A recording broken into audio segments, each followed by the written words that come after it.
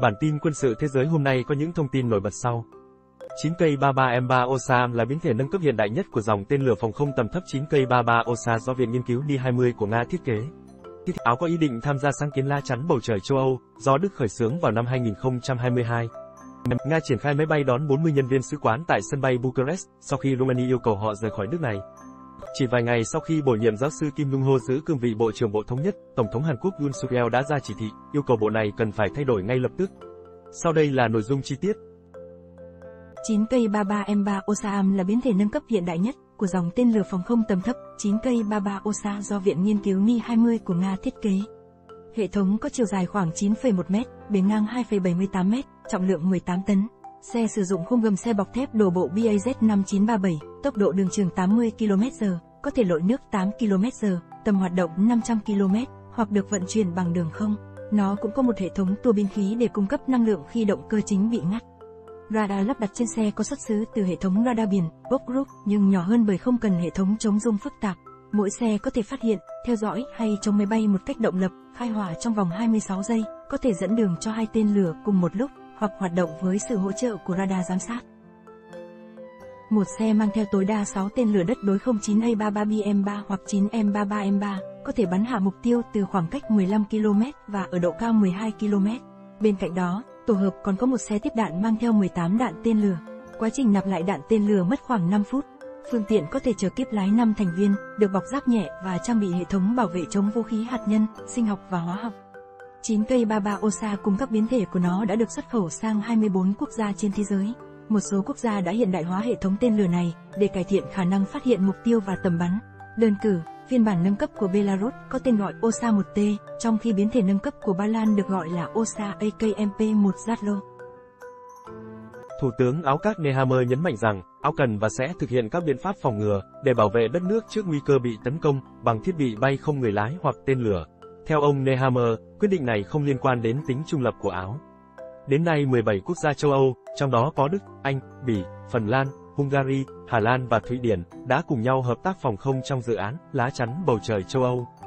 Đây là một sáng kiến liên quan đến việc mua sắm chung các hệ thống tên lửa tầm ngắn, tầm trung và tầm xa, bao gồm Iris-T do Đức sản xuất, Patriot của Mỹ và Arrow 3 của Mỹ Israel.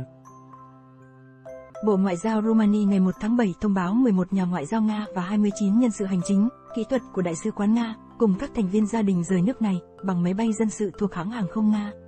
Hình ảnh trên truyền thông Romania cho thấy một chiếc Ilyushin In-96 đã hạ cánh ở sân bay Angri Coanda, tại thủ đô Bucharest, và dự kiến khởi hành trong ngày 1 tháng 7.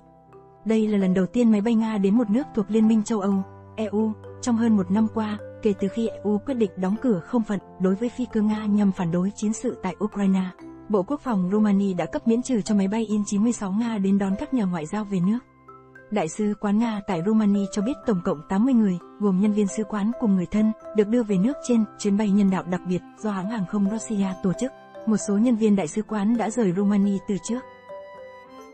Chính phủ Romania ngày 8 tháng 6 gửi yêu cầu đại sứ quán Nga cắt giảm nhân sự và buộc những người này về nước trong thời hạn 30 ngày. Bộ Ngoại giao Romania cho biết quyết định thể hiện cấp độ hiện nay trong quan hệ song phương sau khi Moscow phát động chiến sự tại Ukraine. Người phát ngôn Bộ Ngoại giao Nga, Maria Zakharova khi đó chỉ trích đây là động thái thù địch của Bucharest, làm xấu đi quan hệ song phương và cảnh báo Moscow sẽ đáp trả tương xứng. Giới chức Romania cho biết Đại sứ quán Nga đã giảm một nửa nhân viên, trong khi truyền thông Nga cho hay gần 140 nhân viên ngoại giao Nga đã bị yêu cầu rời khỏi Romania trong hơn một năm qua. Trong cuộc họp nội các ngày 2 tháng 7, Tổng thống Yoon suk yeol nêu rõ, đến nay, Bộ Thống nhất đã hoạt động như một bộ phận hỗ trợ cho Cộng hòa Dân chủ Nhân dân Triều Tiên, và tình trạng đó không nên tiếp diễn. Giờ là lúc Bộ Thống nhất phải thay đổi. Tuyên bố của ông Yoon suk yeol được đưa ra trong bối cảnh tình hình căng thẳng trên bán đảo Triều Tiên vẫn chưa có dấu hiệu hạ nhiệt, khi Bình Nhưỡng hôm 16 tháng 6 tuyên bố sẽ sớm phóng lại vệ tinh trinh sát quân sự vào quỹ đạo không gian một cách chính xác sau vụ phóng thất bại vừa qua. Theo giới chuyên gia, việc bổ nhiệm ông Kim Dung-ho, một học giả có lập trường bảo thủ và cứng rắn với Bình Nhưỡng, trở thành người đứng đầu Bộ Thống nhất hôm 29 tháng 6, đã phản ánh phần nào quan điểm về vấn đề Triều Tiên ở thời điểm hiện tại của Tổng thống Yoon suk yeol. Thông cáo của Văn phòng Tổng thống Hàn Quốc có đoạn, Tổng thống yêu cầu Bộ Thống nhất phát huy tốt vai trò cốt lõi, đề cao các giá trị dân chủ tự do. Sự thống nhất sẽ mang lại cuộc sống tốt đẹp hơn và nhân văn hơn cho người dân trên bán đảo Triều Tiên.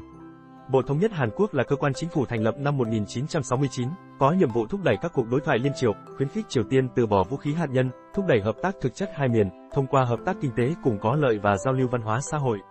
Được biết, chỉ tính từ đầu năm đến nay, Triều Tiên đã tiến hành gần 20 vụ thử tên lửa. Trước đó, trong năm 2022, Triều Tiên cũng đã phóng tổng cộng ít nhất 95 tên lửa, nhiều hơn bất cứ năm nào khác trước đây. Về phía Hàn Quốc, không chỉ đáp trả bằng các cuộc tập trận chung Mỹ-Hàn, Tổng thống Yoon suk yeol còn nhấn mạnh rằng Liên minh Mỹ-Hàn hiện được nâng lên thành liên minh dựa trên hạt nhân. Chính phủ và quân đội Hàn Quốc sẽ thiết lập một thế trận an ninh bọc thép dựa trên liên minh nói trên, mạnh mẽ hơn bao giờ hết để bảo vệ cuộc sống của người dân.